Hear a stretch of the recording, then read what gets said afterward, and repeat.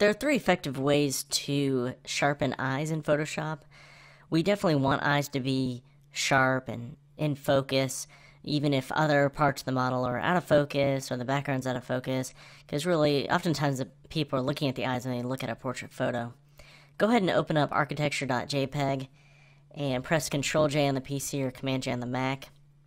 The first way to sharpen eyes I'm going to show you is if we simply click and hold onto the blur tool and go to the sharpen tool. And there's a couple settings up here. There's like strength 50%, 100%. We can keep it 100% for this because we're working on a duplicated layer. We can experiment with different strengths, but for this one it should be fine at 100%.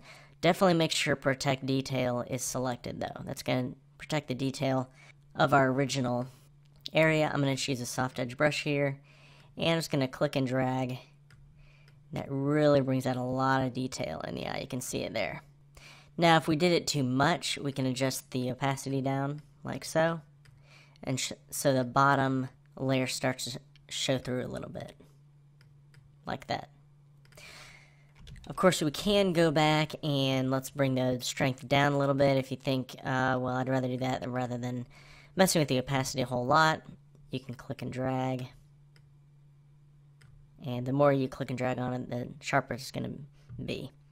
Alright, so that's one way. I'm going to click and drag that top layer to the trash icon.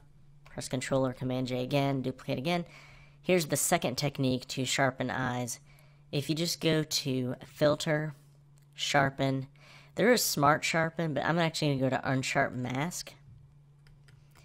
And make sure preview is selected. And it's going to preview it in here and over here. So we'll just experiment with the amount. So if you bring it way over to the right you know you don't want to go too far where it just kind of looks really contrasty and too harsh of an edge.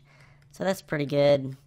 And then radius we can experiment with radius is basically once it gets to an edge there how how exaggerated that edge is going to be. So you can really overdo that. So I'm going to keep that down to about 1 but I'm going to keep a mount pretty high up to about 150% or so. And so once I hit OK, the problem is it, it, it sharpened the entire layer. So we need to add a layer mask that will just mask out everything. Hold down Alt on the PC or Option on the Mac and click Add Layer Mask icon on the bottom of the Layers panel. Creates a mask, but it's black, so it's just masked out this top sharpened layer. And then we want to paint some white in, so make sure your foreground color is white and you're going to paint in some white like that. Make sure you have a soft edge brush. And there we go. And if you Alt or Option click, you can see that's our mask and you can paint it a little bit there.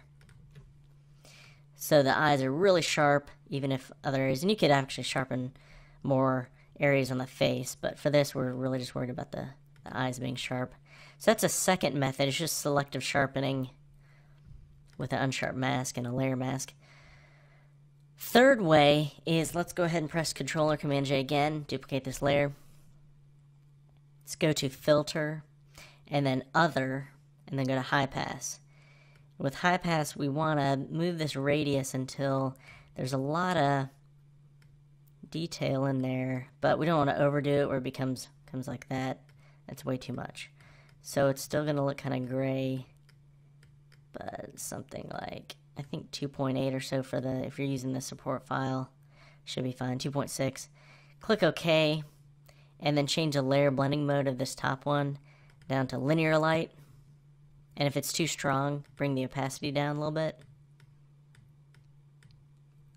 The problem is all of this is sharpened again. So add a layer mask, hold down Alt or Option if you want it to be completely black, which we do. Then we just want to paint some white so it'll pop through on certain areas with a nice soft edge brush. And the other areas, say you wanted to make the hair sharpened as well, that's fine. Made the lips, and you can alt click, and that's our mask right there. But So it's selective sharpening, but with a high pass. So that's three ways to sharpen eyes in Photoshop.